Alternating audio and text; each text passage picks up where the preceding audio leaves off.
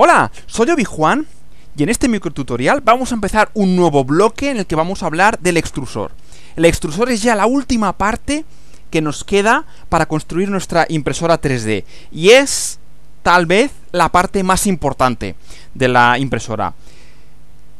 Recalcar, quiero recalcar que el extrusor no es solo para la Prusa 2, sino que nos vale para cualquier otra impresora. Así que si lo que estáis montando es una Printerbot o una Prusa Air o cualquier otra Prusa, este, este extrusor también nos vale. Con lo cual estos tutoriales ya también nos valen para vosotros.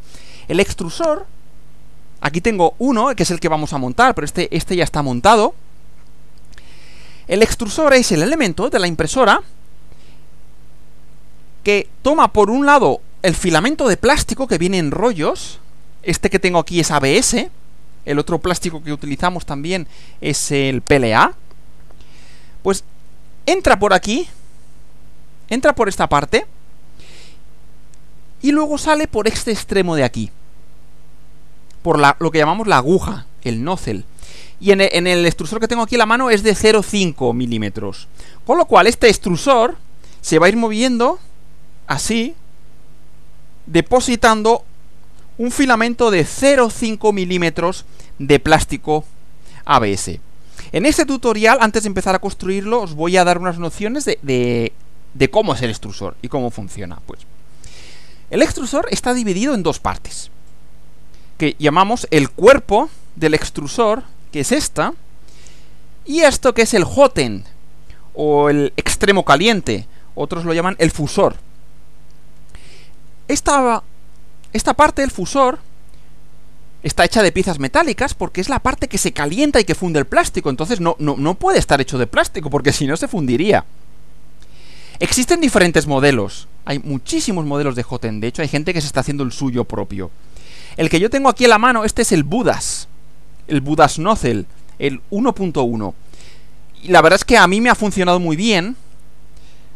Funciona de prusa madre. El problema que tiene es que eh, lo vende una... Es open hardware, por supuesto, cualquiera se lo puede fabricar y están, están todos los esquemas. El único inconveniente es que es caro y como viene de Estados Unidos, pues tienes que pagar la aduana y el transporte, con lo cual al final te sale caro. Pero la verdad es que yo estoy contentísimo porque es súper bueno. Pues no sé si aquí se lo podéis, se puede ver bien el agujero. Bueno, por ahí entra por ahí entraría el plástico y al fondo está la aguja de 0,1. Se entraría por aquí el plástico. Aquí entra todavía el plástico cuando viene del cuerpo del extrusor y está todavía frío. Y aquí, en esta zona, aquí en este bloque de aquí abajo es donde se calienta. Aquí tiene la resistencia, que es una resistencia de potencia de 5 ohmios. Si hacéis las cuentas os sale que la corriente que va a chupar esto para calentar es de 2,4 amperios, porque va alimentado a 12 voltios. Y luego este otro cable que tiene aquí y que sale por el otro lado es donde va el termistor. El termistor va metido ahí dentro, en este bloque. En el caso del Budas, en otros hot ends, en otros extremos calientes, la configuración es un poco distinta, pero, pero todos se parecen mucho. Pero al final, esto lo controlas con cuatro cables, dos para la resistencia y dos para el termistor. Es decir, exactamente igual que la base caliente. Lo que va a cambiar es la temperatura, que aquí para fundir el plástico depende de qué plástico metemos.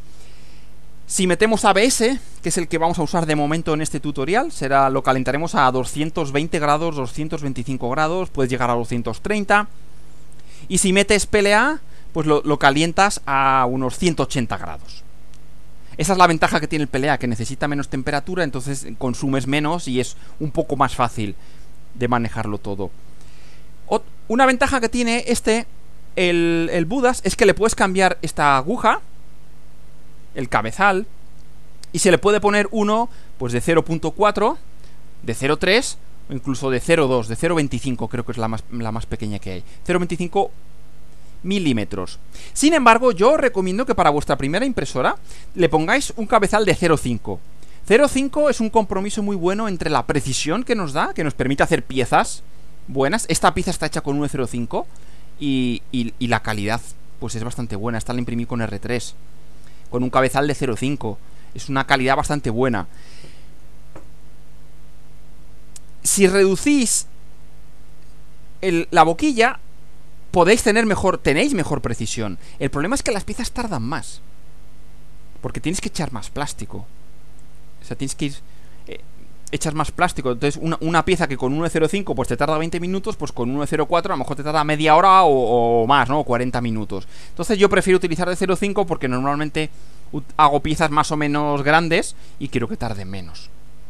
Así que yo recomiendo 0.5 y luego que sepáis que lo podéis hacer un upgrade y lo cambiáis. Eso sí, cuando pasáis del 0.5 al 0.4 o al 0.3 tendréis que cambiar los parámetros, el perfil del Skinford o del slicer de lo que estéis utilizando. Existen otros extremos, otros hotens, que no tengo aquí ninguno para enseñaros, pero otro que se está volviendo ahora muy popular y que está funcionando bastante bien.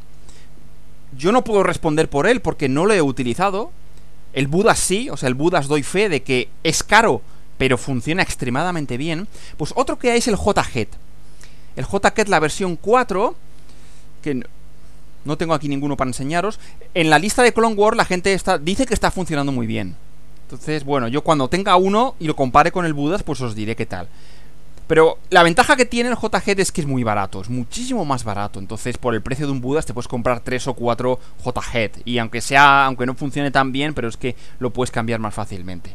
Y además del JHET existen muchísimos más. De hecho, hace nada, Prusa ha sacado otro modelo de Joten que es mucho más minimalista, es casi casi como un tornillo de métrica 8, con unas tuercas que tiene bastante buena pinta. Y bueno, a ver si lo ponen a la venta y lo podemos probar y a ver si liberan los planos. La otra parte del extrusor es esta, es el cuerpo. El cuerpo es el que hace la tracción. Es el que tiene el motor paso a paso, el mismo que tenemos en la prusa, el mismo que tenemos en todos los ejes, que tiene un engranaje aquí que se engrana con este otro engranaje grande. Este lo llamamos el engranaje pequeño y este el engranaje grande. Y esto empieza a girar gira, mueve el grande y el grande, lo voy a mover con la mano, hace que el plástico este se mueva. Lo estoy poniendo aquí, aquí al darle pues cada vez va saliendo más.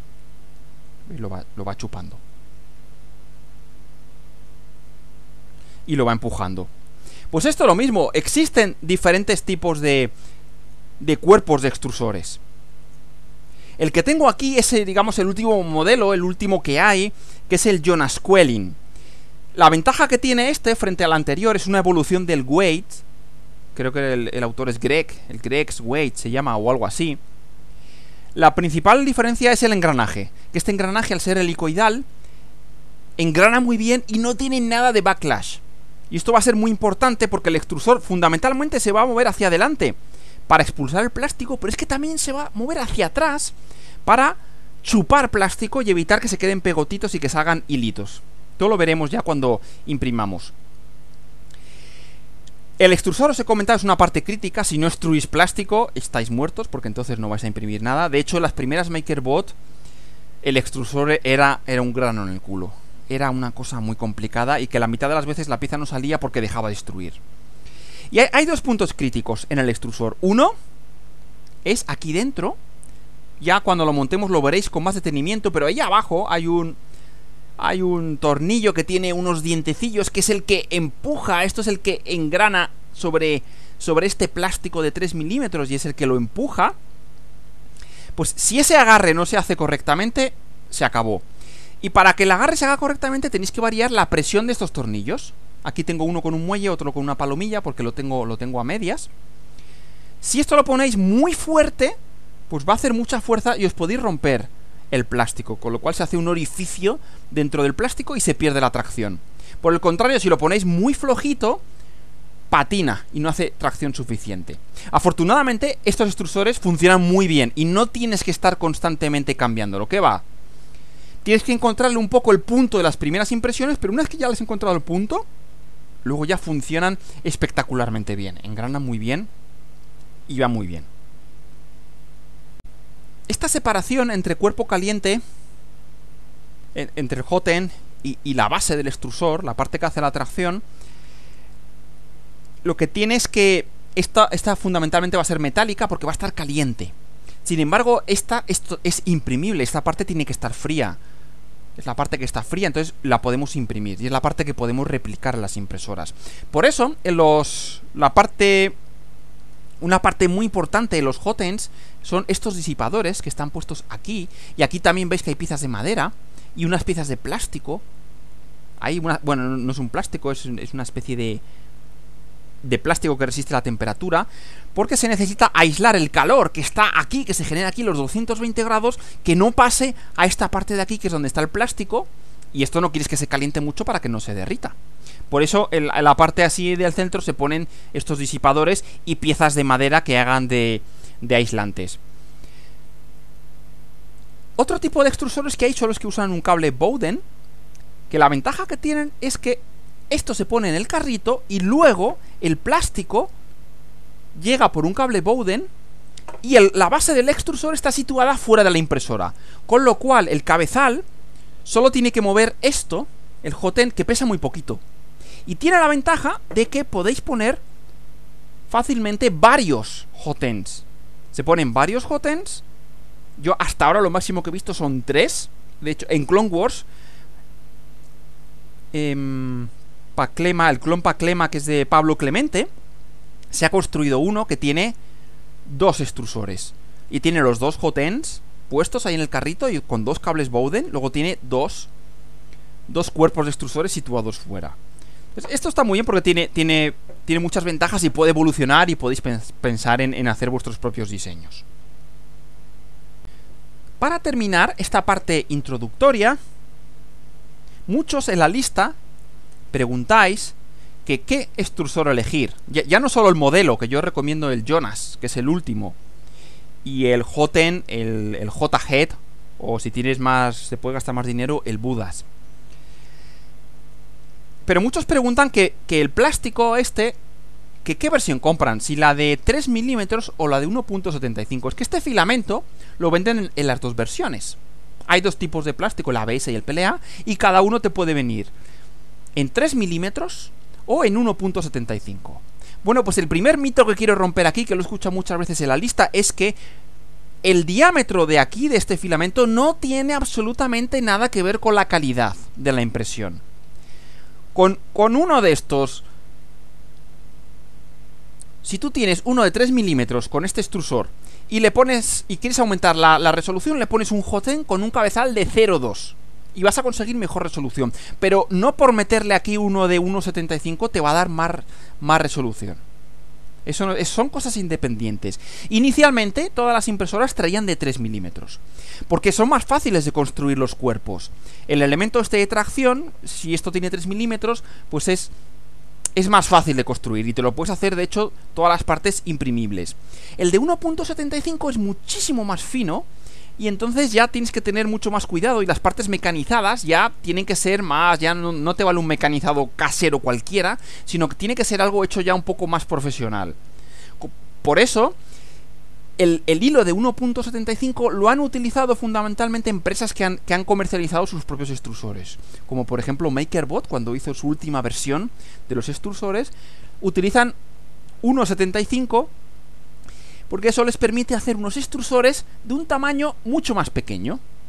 Y puede meter varios extrusores dentro de, su, de sus últimas impresoras. La tendencia en el mundo RepRap, en las impresoras autorreplicantes y de la comunidad, es seguir con los 3 milímetros.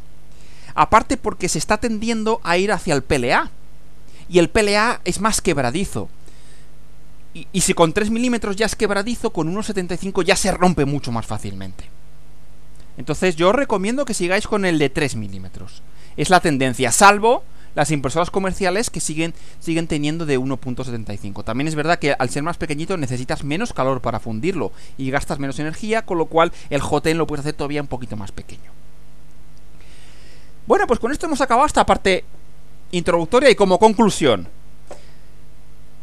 Hay, esto es es hardware libre, es hardware abierto, es software abierto, entonces cada gente lo modifica, está los planos de todo, cada uno se hace su se hace su base del extrusor, su cuerpo, esto evoluciona.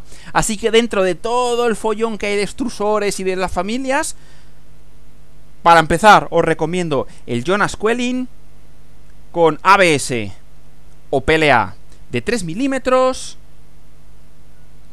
el, el JTEN Budas o el JHEAD y una aguja de 0.5. Yo recomiendo eso para empezar y para aprender. Y luego lo vais cambiando y vais evolucionando. Le metéis un JTEN o una aguja aquí con un...